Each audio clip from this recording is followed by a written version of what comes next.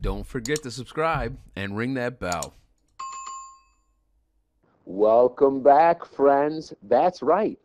I called you a friend. You should feel special.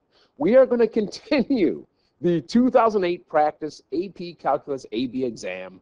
We are going to do the second section. Well, it's section one, part A, but the second section of problems. I should stop saying section. We're going to do the second part of problems in section one, part A. Problems 11 through 20. Uh, we don't get a calculator, but that's okay. Strong like bull, my friend. My mind. She is strong like bull. Let's start with number 11. Number 11. What is the slope of the line tangent to the graph of y equals e to the negative x over x plus 1 at the point where x equals 1? All right, uh, basic problem. Slope is the same thing as derivative.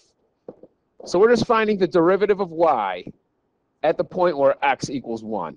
And I see, my friends, a fraction, so I kind of know I'm going to use the quotient rule. So let's first find the derivative of y. It is, okay, low d high minus high d low. I draw a line and square below. That's what I say to myself every time I do these. So I got a fraction, and it's the low d high minus high d low. I draw this line and I square below, whatever low is. Now, low refers to the denominator and high refers to the numerator, okay? So it is low, which is just x plus 1. d high. All right. Well, the derivative, okay, of e to the negative x is e to the negative x, okay, times the derivative of whatever that exponent is, which happens to be negative 1. Okay? Low d high minus high, just as it is, times the derivative of below. The derivative of that blue highlight is just 1. I draw my line and I square below. All right, that negative x throws me off uh, a little bit, but let's not worry, friends. Because at this point, I'm not going to simplify anything yet. I'm simply going to put a 1 in for all my x's right there, right there, right there, right there. And let's do some nice appropriate math, shall we? We've got 1 plus 1 times e to the negative 1 times negative 1. So I'm just going to negate that. Okay, well, let me write that so it's nice here. Okay. So right here, I'm going to put a, a 1 in for this x, but then I got to multiply it times a negative 1. So it's going to be e negative e to the negative 1 minus. All right, I've got e to the negative x again, and that's a 1, times 1, which, okay, it's itself, all over 1 plus 1, and that's squared. All right, let's um, let's let's figure something pretty simple here. There's several different ways I can do this, and I am going to factor out my uh, e to the negative 1 because factoring never goes away. All right. In fact, I'm going to take out, yeah, I'll take out an e to the negative 1. I can take out a negative e to the negative 1 and make that positive. It don't matter. The bottom is 2, and 2 squared, okay, turns out to be 4. All right. So on the bottom of my fraction, I have a 4. The top is 2, okay? So let's kind of combine the top. So it's, uh, if I multiply times a negative, it's negative 2e to the negative 1 minus e to the negative 1. Okay, and I can factor out that e to the negative 1. I'll just do this here. That will leave me negative 2 minus 1? Is that what I got? That's okay. Yeah, it just seems weird to have 2. Yeah, because that's a 1 here. All right. So actually, I can combine those, can I? I can. They are like terms. I don't even need to factor. Ooh, there are so many different, like I said, there's so many different ways. Um, if I continue with the factoring, I get negative 3 times e to the negative 1. And that would be right here. what I was saying uh, about combining like terms instead of factoring, well, these are like terms. I have negative 2 e's to the negative 1. Subtract another 1 e to the negative 1, and that would still give me negative 3 e to the negative 1. So either way, that's what I end up with. Now, if I look at my answers, there's only one answer that has a 3 in there in the numerator and has a negative response. That's choice B. 3 in the numerator and it's negative. So how does the E come in the bottom? When they simplify, they don't like negative exponents. So if my negative 3 over 4 e to the positive 1, there you go. Choice B. Wow, that's a good one to start with. A lot of algebra. Number 12. If f prime of x equals 2 over x, and f of the square root of e is 5, then f of e is. All right. All right. f of e to f of the square root of e. I wonder if there are two ways to do this problem. There might be. And I think, okay, I can integrate, okay, first thing we should know, okay, before we go over our possible ways, I can integrate f prime of x dx, and the result is f of x, okay? The derivative of f of x is f prime. But if I go backward, meaning integrate the derivative, I get the original function. So I can go ahead and do this um, here, like that. And I can try and figure out what this uh, equation is, put a plus c in there, use this initial value, come up with an equation, then plug in the e. Okay, I can do it that way, but I'm going to choose another way to do this. I am going to say that if I have bounds here from A to B, I can take f of B minus f of A. I'm going to set it like that, okay? Because I go to the original equation and put in the upper bound and subtract the lower bound. Because this will be the lower bound, A. This would be the upper bound, B. And they already give me the value of the lower bound, so that's nice. So that's the way I'm going to do this problem. So I'm going to integrate f prime, which is 2 over x dx. Okay, I'm going to do that from the square root of e, which is the same thing as e to the 1 half, to e. All right, and I'm going to make this uh, even easier. I'm going to pull the 2 out, this constant. 2 times the integration from e to the 1 half to e of 1 over x dx. Now that's very simple. That should equal my original equation with e in it minus my original equation with the square root of e, or e to the 1 half. Okay, sorry I'm running out of room there.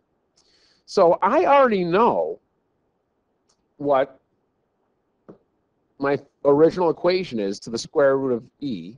That's 5. So this is going to end up being minus 5 here. So I've got f of e, which they're asking me to solve, minus 5. This is given in the problem. I just got to solve this. And now I know what number it's set equal to. Okay? So let's go here. And the integration of 1 over x is the L n of x. Okay? I want that for my lower bounds to my upper bounds. And oh, don't forget, I got to multiply that by 2, the number that's out front here. Okay, that's going to equal f of e, which I'm trying to solve for, minus 5. All right, so I've got 2 times the ln of e minus the ln of e to the 1 half. And that's 1 minus a half. You should know the rules for natural log and e. Okay, and that ends up being a half. Don't forget, I'm still multiplying it times 2. Half of 2 is 1. So I take my 1 and I set it equal to f of e minus 5. And I should know that 6 minus 5 is 1. Okay, I can add 5 to both sides if I want. But f of e should be 6. That's what they're asking you for? Yeah, yeah, yeah, yeah, yeah. Where is it? f of e? That equals 6. Choice D.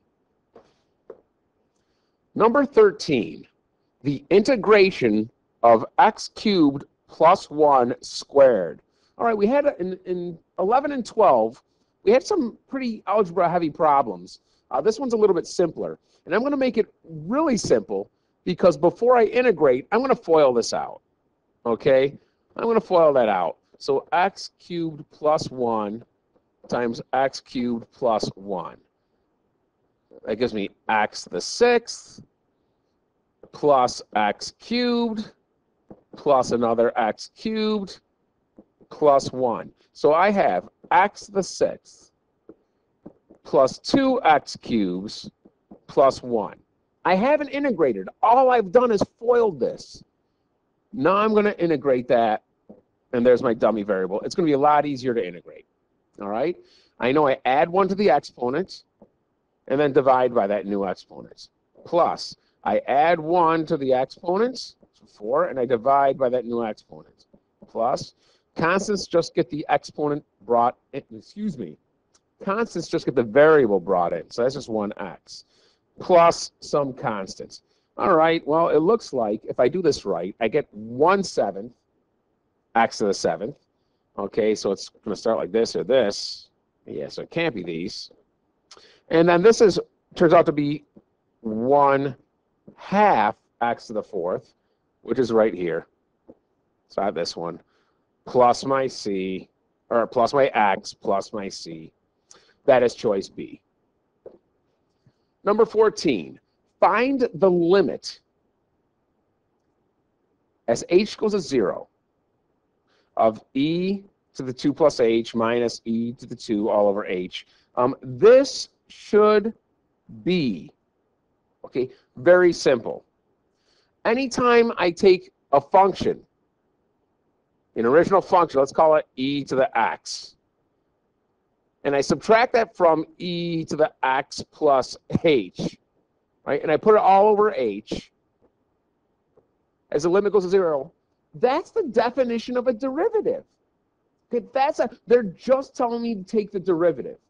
But the derivative of what? It's the derivative of whatever my original function is. My original function is always after the minus sign. Okay? Not only do I want to take the derivative of e to the x, they want that when my x is 2. So in other words, find the derivative of e to the x at an x value of 2. The derivative of e to the x is e to the x. Let's plug a 2 in. Guess what? There's your answer. That one was very simple as long as you made the association that the what they gave us, the problem we started with, is the definition of a derivative using limits. Number 15. I got to be honest with you. When I first saw this, I didn't like it. But the more I looked at it, the more I understood it, and I dropped my disdain or dislike for it. I still don't think it's one of my favorite problems, but it's not horrible. The slope field for a certain differential equation is shown well to the bottom right, not above. Which of the following could be a solution for this differential equation with the initial condition 0, 1? This is a coordinate, okay? 0, 1 is going to be on my curve. So I'm going to go to 0, 1, and I'm going to put a dot right here. And I'm going to follow these lines of the slope field from zero one. It looks like it comes down, comes down, comes down, starts to kind of, and then it kind of flattens out like this. And same thing to this side. Comes down, comes down, flattens out like this. So right away, what I initially thought of, and I figured out why I was, uh, you know, wrong to put this in my mind, was that looks like cosine, right? Cosine's that cup comes down like this and uh, comes down like this, but it's not cosine. How come? If this were the y-axis, the x-axis would be here. You see this point? It would dip below the x-axis the graph I have looks like it flattens out at the x-axis. Okay, so it can't be A. All right, it cannot be B because B is a negative uh, quadratic. I guess a, a, a yeah, negative quadratic. The, the number in front of my x squared is negative. So again, that should go through the x-axis. It doesn't flatten out. Well, it's definitely not e to the x. That's just something that, that just goes kind of up like this. It's not that. All right, so we have two more choices. It is not the square root function. You should know the square root function kind of starts, it goes like this, or it's negative, it starts and comes down like this on my axis, wherever it goes. So by default, it's got to be choice Y. And as I get closer to that that uh, x-axis, okay, as, as x gets bigger and bigger and bigger, this would approach a value of zero anyways. So that's why it would flatten out as I get closer to zero. Okay, it is choice E. Number 16, the derivative of f of x is the absolute value of x minus 2. Which of the following could be the graph? All right, uh, first of all, there is one major thing that should glaringly stick out to you that makes this problem easy. Derivative is the same thing as slope, isn't it? And absolute value bars makes everything positive. That means if I'm looking for the graph of f of x, the slope of that will always be positive. There will never be a negative slope. So right off the bat, I'm going to look to see if there's a negative slope anywhere. All right. Red marker time. That's a negative slope. Can't be this. Negative slope cannot be B. Negative slope cannot be C. Now, I look at D and E. Okay. Positive slope, positive slope. There's a break, but where it continues from the break, it's still positive. Okay, and then I look at E, positive slope, positive slope, positive, zero, positive, positive. What's the one thing that pops out to you? At an x value of 2, it's either going to be undefined or it's going to have a slope of 0. Okay? This one would have a slope that's 0 at x equals 2, and this will be an undefined slope at x equals 2. Let's take a look at this right here. If I throw a 2 in for this x, does it become undefined or 0? It becomes 0. It's not undefined. My answer is choice E. Number 17. What is the area of the region enclosed by the graphs f of x, which is x minus 2x squared, and g of x, which is negative 5x? Area of the region. That screams to me integral. I'm going to have to integrate. Let's go to the thinner marker here. So I'm going to have to integrate, okay, the area between these two curves. So I, if I had to graph this, okay, I don't get a calculator, but I should know this. Uh, the graph negative 5x, g of x, which we'll do in blue here, that looks something like this. There's a slope, it's just a straight line with a slope of negative 5. Okay, that's g of x. I know for a fact that this is a parabola that opens down. Okay, and I know if I pick uh, 0, it's going to be at the origin, 0, 0. So that's going to be one of the uh, bounds, upper bounds or lower bounds. Okay, and if I pick the number 1, it's 1 minus 2, it's negative. I pick the number 2, it's plus even more negative. Oh my God. I got to figure out, is this going to be above or below the line? Okay, well, it, it opens down. Okay, it opens down. So, although we don't have any positive values when I put an x, it, it's going to kind of look like this, kind of come through like this. It's going to look something like that, okay? Ballpark, all right? So I know that my lower bound is going to be at x equals 0. But what's my upper bounds? I got to figure this out, and I don't get a calculator, okay? Which means I've got to set these two equal and solve. One of the answers is going to be 0. What's the other one? They're making us do some work here. So minus 5x equals x minus 2x squared. Bring everything from the right over to the left. Plus 2x squared plus 2x squared minus x minus x bang, bang, equals zero. We've got 2x squared minus 6x. Beautiful. If I take out a 2x, because factoring never goes away, I get x minus 3 equals 0. So there you go. x equals 0 and x equals 3. This is my upper bound. Okay, so I'm going to have to integrate the area between those curves. Please remember, if I'm integrating from 0 to 3, okay, it is always the upper curve minus the lower curve, okay? The upper curve is f of x, okay? The lower curve is g of x. This area in between them that I'm filling in, the, the curve on top is f of x. Okay, so that's my f of x. So I want to say f of x minus g of x. Don't forget your dummy variable. We went through a lot just to set up that integral.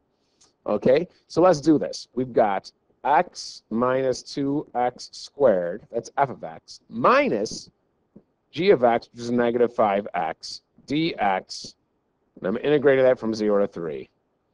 Let's clean it up even more, shall we? So I've got x minus 2x squared. I subtract a negative plus 5x dx from 0 to 3. That gives me x squared over 2 minus, oh boy, 2x cubed over 3 plus 5x squared over 2. That is quite I mean, none of those fractions simplify those little sons of guns. But you know what I do appreciate? One of the bounds is zero. And when I throw a zero in, everything goes bye-bye.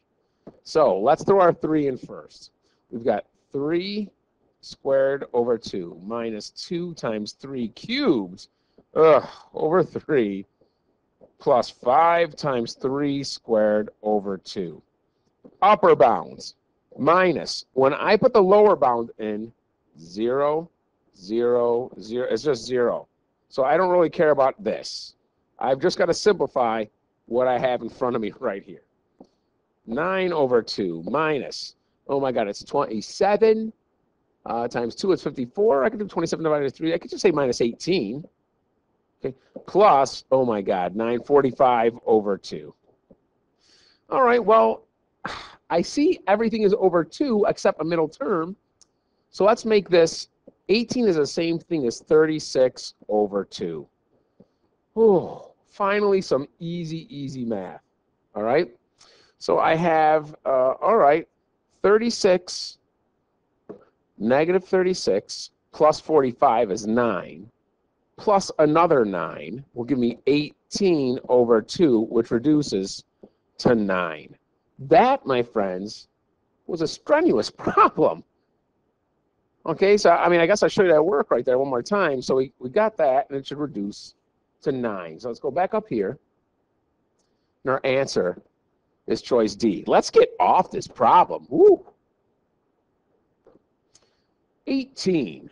For the function f, f prime of x is 2x plus 1.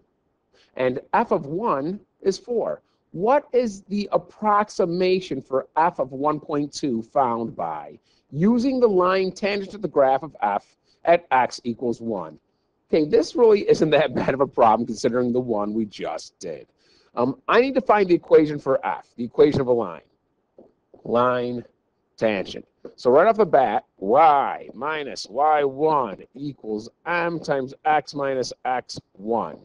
And every time we do this, I tell my students, we need a coordinate, our x and our y, and then we need a slope. All right? And the slope is generally the most work, but based on what they gave us, this seems like it's going to be really easy. This is a coordinate. X is 1, Y is 4. They give us this. Train your brain to know that's a coordinate. So we got Y minus 4 equals, I still don't know my slope.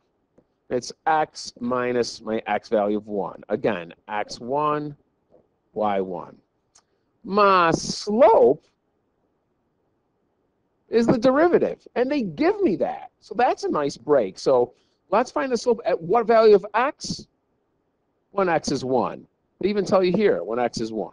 So I want f the derivative of f at 1. 2 times 1 plus 1. Okay, it's 2 plus 1, which is 3. Okay, my slope is 3. Now,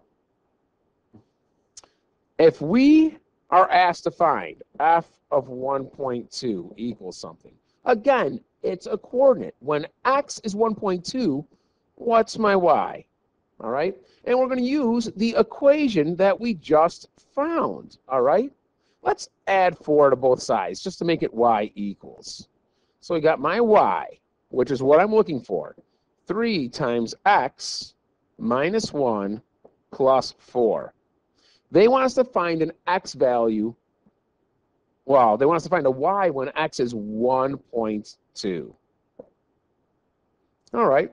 1.2 minus 1 is just 0.2. Well, 3 times 0.2 is 0.6. And I got to still add that to 4. 4.6. Got him. We got him. Hang in tight. We got two more problems. Number 19. Let f be the function given by f of x equals x cubed minus 6x squared. The graph of f is concave up when? We need to find intervals of x when our graph is concave up. Concave up means the second derivative is positive or bigger than zero. Okay, so first of all, we need to find a second derivative. Easy.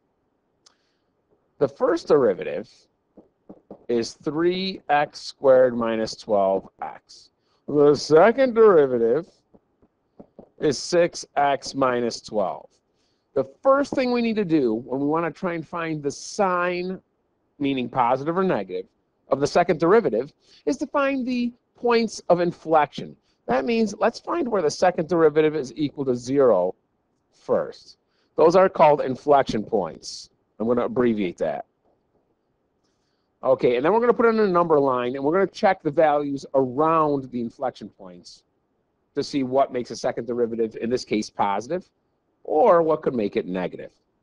So if we set this equal to 0, uh, I mean, I know it's going to be 2. Let's add 12 to both sides. Yeah, there you go.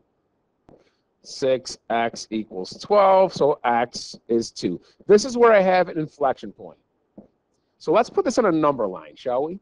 Let's go to the left here. Okay, and just like critical points for the first derivative equals 0, the second derivative can have an inflection point when the second derivative is undefined, not just 0. However, there's nothing that makes our polynomial undefined. It is just a string of characters. There's no fractions, square roots, whatever. Right? So when x has a value of 2, my second derivative has an inflection point or a value of 0. I'll put IP for inflection point. So I'm going to check some values on, on the other sides of this. Okay, let's try 0 here. X is 0. And x is, I don't know, 3. I am going to put these two values into the second derivative, which is 6x minus 12. All right, I'm going to see if it, we get a positive or negative value for our second derivative. All right, so let's start with a 0. If I take 6 times 0 minus 12, well, that ends up being negative 12. That means my second derivative will have negative values to the left of 2. We don't want the negative. We want the positive values. All right, well, let's, let's try our 3. 6 times 3 is 18 minus 12. That's a positive 6. I don't care about the 6. I just care about the sign. Here are my positive values. Anytime we're bigger than 2. All right? Anytime x is greater than 2. That is choice A. Number 20, our last one for this video or this part of section 1, part A. If g of x is x squared minus 3x plus 4, and if f of x is the derivative of g, hmm, then the integral from 3 to 1 of f of x dx is, all right, okay.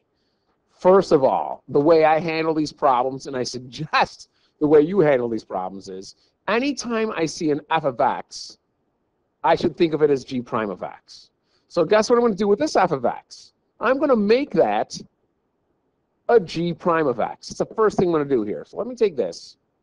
I'm the integral from 3 to 1 of f of x. That's the same thing as g prime of x. Okay?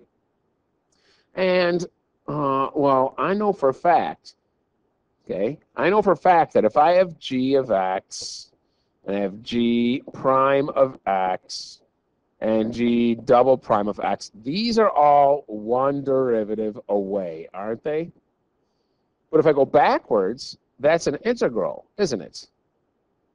Guess what that means? If I have this, and I'm integrating it, the result will be g of x. So this will equal g of x. And better yet, since we have bounds, it's going to be g of my upper bound minus g of my lower bound. And that's what I'm going to do. And they give me g right here. So all I've got to do is throw my upper bound of 3 into g of x and subtract throwing in the lower bound of 1 into g of x right? So it really isn't, I mean, this isn't bad at all in terms of algebra. You just got to make the connection that when you integrate a derivative, you get the original function, okay?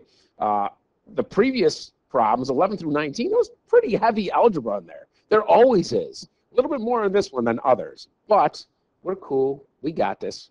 Let's put 3 into g of x. So it's x squared minus 3 times x plus 4. Okay, so this is the upper bound. Minus, I do the same thing throwing a 1 in. It's x squared minus 3 times x plus 4. Okay, let's throw our 3 in our upper bound. 3, 3. Our lower bound is 1, so it's 1, 1. Let's do some math, all right? 9 minus 9 plus 4. These cancel. I have 4 minus, okay, minus 1 minus 3 plus 4. Oh, that's 5 minus 3. Is that 2? Is that 2? Is my answer 2? Son of a gun, it is. Look at that. I like the number 2. Anyways, it is choice C. We're done. Whew. Man, I feel like I just boxed at least six, seven rounds of a 12 round fight. But, okay, but we are done like the video, follow me because that's the only way you get notifications when I put up future videos, like maybe problems 21 through 28 of this exam and so forth, the free response questions. Uh, make a comment if there's something you saw that you do differently that you think is good. I like learning new stuff, okay? Um, or just say hi, or if there's a test you want to see me do, go ahead, put that down there. Uh, we're done. Like the video that helps me. I will see you later for the next video. Bye bye. Don't forget to subscribe and ring that bell.